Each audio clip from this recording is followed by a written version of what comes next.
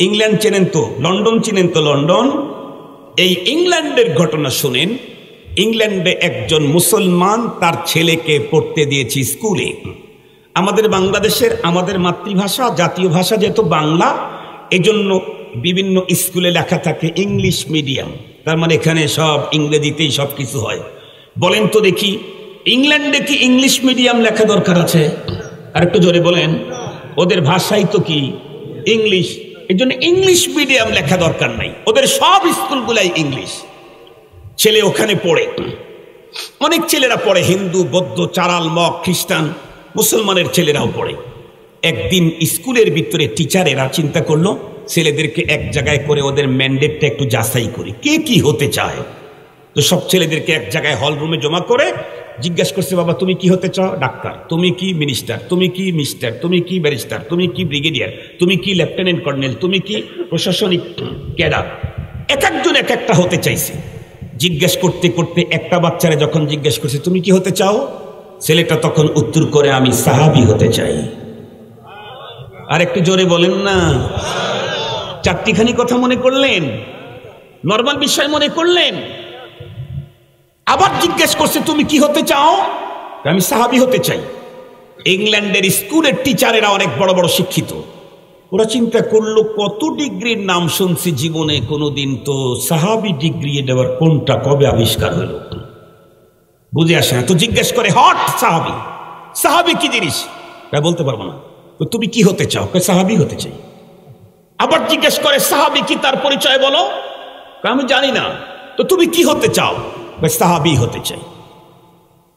খ্রিস্টান টিচারদের অন্তরের ভিতরে বিশাল প্রশ্ন জেগে গেল, সমস্ত টিচারেরা এক জায়গায় বসে, বন্ধুরা, আমার সাহাবি কোন ডিগ্রি, কোন দেশে, কখন আবিষ্কার হলো তা নিয়ে ভাবাবেগ শুরু করল, কিন্তু কোনো সমাধান নাই।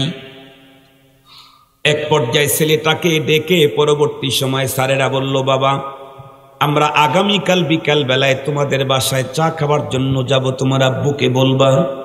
ছেলে যখন বাসায় চলে গেল, আব্বুকে গিয়ে বলল, আব্বু আগামীকাল বিকাল বেলায় আমার বাসায়, আমাদের বাসায় স্যারেরা আসবেন চা খেতে। মুসলিম গার্ডিয়ান যতটুকুন তার এস্তেতাত হাসবে এস্তেতাত যতটুকুন তার যোগ্যতা, সেই অনুপাতে তাদের জন্য রকমারি নাস্তার ব্যবস্থা করে ফেললেন। ছেলের টিচারেরা আসবে। এক পর্যায়ে সকল টিচারেরাই বাড়িতে উপস্থিত হয়ে গেল। আল্লাহর বান্দা মুসলমান গার্ডিয়ান মেহমানদারি করার জন্য বন্ধুরা, আমার মেহমানখানায় তাদের জন্য যথেষ্ট ব্যবস্থাপত্র গ্রহণ করল।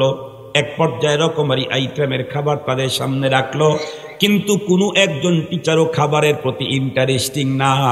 বরং তারা বলতেছে, আমরা খাবার খাওয়ার জন্য আসি নাই, বরং একটা বিষয়ে জানার জন্য এসেছি বলে কি বলো দেখি? মুসলিম গার্ডিয়ানকে লক্ষ্য করে খ্রিস্টান টিচারেরা বলে, ভাই গতকালকে আমাদের স্কুলের ভিতরে ছাত্রদেরকে একত্রিত করে কে কি হতে চায় তাদের প্রতিভা, তাদের ম্যান্ডেট যাচাই করতেছিলাম। এমন মুহূর্তের ভিতরে কেউ doctor, doctor, brigadier, lieutenant, colonel, general OCD CSP নেতা হতে চাইল চাইল। কিন্তু আপনার সন্তান পুরা স্কুলের ভিতরে মাত্র একজন। এমন একটা ডিগ্রির কথা বলল, যেই ডিগ্রি আমরা জীবনেও কোনোদিন শুনি নাই। মুসলিম গার্ডিয়ান তখন জিজ্ঞাসা করলেন, স্যার, কোন ডিগ্রির কথা বলেছে আমার সন্তান? ওরা তখন উত্তর করল, আপনার সন্তান সাহাবি হতে চেয়েছে। যেই মাত্র মুসলিম গার্ডিয়ান, তার বন্ধুরা আমার টিচারদের কণ্ঠে যখন শুনতে পেরলেন পারলেন তার সন্তান সাহাবি হতে চেয়েছে। এ কথা শুনতেই আবেগ আপ্লুত হয়ে আনন্দে আল্লাহর বান্দা মুসলিম গার্ডিয়ানের দুই চোখ বে পানির ফোঁটা ঝরঝর করে পড়া শুরু হয়ে গেছে। মুসলিম গার্ডিয়ানের দুই চোখ বে পানির ফোঁটাগুলি দেখে টিচারদের মনে আরও প্রশ্ন জেগে গেল, কিরে তার সন্তান অভিভাবক এক ভিন্ন রকমের ডিগ্রির কথা শুনাইল। আমরা যখন তার বাবাকে সেই ডিগ্রির কথা বললাম, তখন তার বাবা দুই চোখ বেয়ে তার কান্নার পানি বের হয়ে গেল। টিচারেরা জিজ্ঞেস করে, ভাই, আপনার চোখের পানি দেখে তো আমাদের আরও জিজ্ঞাসা আরও বেড়ে গেল। আপনি কেন বা কান্দেন? সাহাবি আবার কোন ডিগ্রি আমাদেরকে একটু জানাবেন? উনি তখন উত্তর করলেন, দেখেন, আমি কিন্তু মুসলমান। ওরা উত্তর করে, অসুবিধা নাই, আপনার মতো আরও অনেক মেসুল মুসলমান ফ্যামিলির লোকেরাও আমাদের ওখানে পড়ে। বলে হ্যাঁ শুনেন, আমি মুসলমান আমাদের বাসার ভিতরে কিতাবি তালিম হয়। আমার সন্তান আপনার কাছে সাহাবি হওয়ার আবেগ পেশ করেছে। এটা কোনো ডিগ্রির নাম না এটা মূলত হলো সাহাবি বলতে তাদেরকে বুঝায়, এই পৃথিবীতে যত মানুষ আল্লাহ পাক তৈরি করেছিলেন, তার ভিতরে সবচাইতে উন্নত মানের মানুষ হলেন হলেন আম্বিয়ায় কেরাম নবী রসুলগণ। নবী আর রসুলগণের পরে পৃথিবীর সবচেয়ে উন্নত মানুষ হল সাহাবায় কেরাম। মুসলমান ভাইরারে আমার খুব ভালো করে বুঝবেন, যেই সাহাবায় কেরামের প্রশংসা স্বয়ং রব্বুল আলমিন করেছেন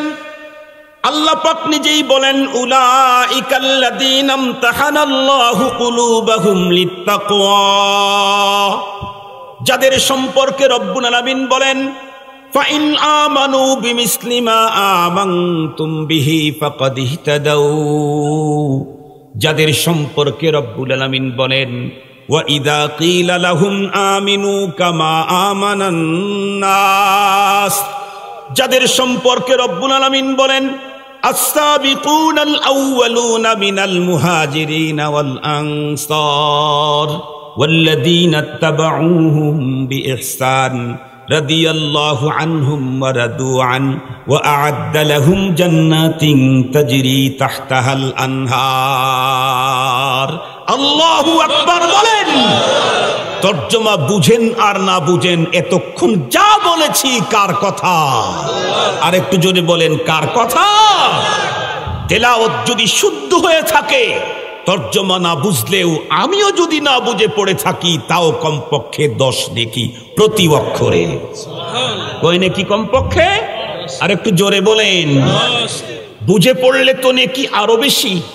আপনারা যদি না বুঝেও শুনেছেন ভক্তি, শ্রদ্ধা মহাব্বতার ভালোবাসার আদবের সাথে। তাহলে যে পড়ল তাকে যেই পরিমাণ যে শুনলো তাকে সেই পরিমাণ। আল্লাহ বলেন। মাহতারাম হাজরিন, মনে রাখবেন, রব্বুল আলামিন সাহাবাই কেরামের প্রশংসা করতে করতে কথা বলেছেন সাহাবিদের সম্পর্কে যে আমি আল্লাহ তাদের জন্য জান্নাত তো রেডি করে রাখছি। কেয়ামত পর্যন্ত যারা এই সাহাবিদের পথ অনুসরণ করবে, তাদের জন্য জান্নাত রেডি আছে। তাহলে কি পরিমাণে প্রশংসা সাহাবাই কেরামের আল্লাহ পাক করেছেন? সাহাবিদের মাকাম কত উঁচা? তারা তো জান্নাতে যাবে যাবেই। তাদেরকে বিইহসান। সঠিক পদ্ধতিতে সাহাবিদেরকে যারা অনুকরণ করবে, আল্লাহ পাক বলেন, তাদের জন্য জান্নাত রেডি আল্লাহু আকবার বলেন, আল্লাহু আকবার বলেন। মোহতারাম হাজরিন, মুসলিম গার্ডিয়ান তখন ডেকে বলছে, ভাই, আমার ছেলে সাহাবি হতে চেয়েছে, এটা কোনো নতুন ডিগ্রির নাম না। এটা হলো পৃথিবীতে নবী রসুলদের পরে সবচাইতে শ্রেষ্ঠ মানুষ হতে চাওয়া। ওরা তখন জিজ্ঞেস করে, এত উন্নত মানুষ? বলে, হা, তারা এখন কোন কোন দেশে বাস করে? বলেন তো দেখি, সাহাবিরা এখন কোন দেশে বাস করে? কানাডায়, আমেরিকায়। সৌদি আরবে। কোথায়? জান্নাতে? কথা বলেন, কোথায়? জান্নাতে। উনি তখন উত্তর করছেন, ভাই, সাহাবি হওয়ার জন্য রসুল লাগে। কথা বলেন না কেন? সাহাবি হওয়ার জন্য কি লাগে? সাহাবি বলা হয় ওই সমস্ত মুসলমানদেরকে যারা ইমানের অবস্থায় আখিরি জামানার পয়গাম্বারকে দেখেছে আর সেই ইমান নিয়ে কবরে যেতে পেরেছে, তারা হলো সাহাবি। তার মানে রসুল যখন দুনিয়ার থেকে চলে গেছেন, তখন থেকে সাহাবি হওয়ার সব দরজা বন্ধ হয়ে গেছে। ওরা তখন বলে, ও মাই গড, সে তো পনেরোশো বছর আগের কথা তাহলে। মুসলিম গার্ডিয়ান তখন উত্তর করলেন, হা হা, পনেরোশো বছর আগের কথা। ওদের আরও মাথা হেট হয়ে গেল এ কথা শুনে। ওরা তখন জিজ্ঞাসা করে, মুসলিম গার্ডিয়ানকে ছেলের বাবাকে? ভাই, কিছুই তো বুঝে আসে না আপনাদের কথাবার্তা বলে। কেন বুঝে আসে না? ভাই, শোনেন, আমাদের দেশটা কিন্তু ইংল্যান্ড। তাম পৃথিবীর ও সমস্ত রাষ্ট্র থেকে দেশগুলি ইংল্যান্ডে আসে, কারণ তথ্য, প্রযুক্তি এবং বিজ্ঞান টেকনোলজিতে তাম দুনিয়ার ভিতরে সেরা যেই রাষ্ট্রগুলি আছে, তার ভিতরে ইংল্যান্ড একটা অন্যতম রাষ্ট্র। এখান থেকে দুনিয়ার মানুষ বড় বড় ডিগ্রি অর্জন করে যায়। এই দেশের ভিতরে বাস করে প্রতিটি সন্তান যখন এক হাজার বছর সামনের স্বপ্ন দেখে আর ইংল্যান্ডের মতো দেশে বাস করে, আপনার সন্তান সেই মুহূর্তের ভিতরে চোদ্দশো বছর পিছনের দিকে যেতে চায়, তার কারণটা তো আমাদের কিছুই বুঝে আসতেছে না। সবাই যখন এক হাজার বছর সামনের স্বপ্ন দেখে, তখন আপনার সন্তানটা দেড় হাজার বছর পিছিয়ে যেতে চায়। এমন বক্তব্য যখন দিলেন, মুসলিম গার্ডিয়ান তখন মুস্কি হাসি দেয় উত্তর করলেন, দোস্ত, আপনারা অনেক বড় শিক্ষিত বটে, কিন্তু আমার সন্তানের কথার তর্জমা বোঝার যোগ্যতা আপনাদের নাই। আমাদের বাংলাদেশের ভিতরেও অনেক বড় বড় বুদ্ধিজীবী আছে, কলামিস্ট আছে। যাদের কলমের খোসা আমেরিকা পর্যন্ত যায়, যাদের বুদ্ধি দিয়ে, বন্ধুরা, আমার বাংলাদেশে দিন রাত হয়, রাত্রি দিন হয়, এত বড় বড় বুদ্ধি, কিন্তু তারা মাঝে মাঝেই আমাদের ওলামায় কেরাম কমি আলেমদের সম্পর্কে বলে, এই মোল্লারাই তো উন্নতি, অগ্রগতির পথের বন্ধুরা আমার অন্তরায়। মোল্লারা দেশটাকে চোদ্দশো বছর পিছনের দিকে নিয়ে যেতে চায়। তার মানে ওদের সুর আর এদের সুর হলো একই রকমের। এই দুই দুই দুই দলের বন্ধুরা, আমার একই প্রশ্নের একটাই উত্তর, সেটা হলো, মুসলিম গার্ডিয়ান উত্তর করলেন, দোস্ত, আপনারা ভুল বুঝেছেন।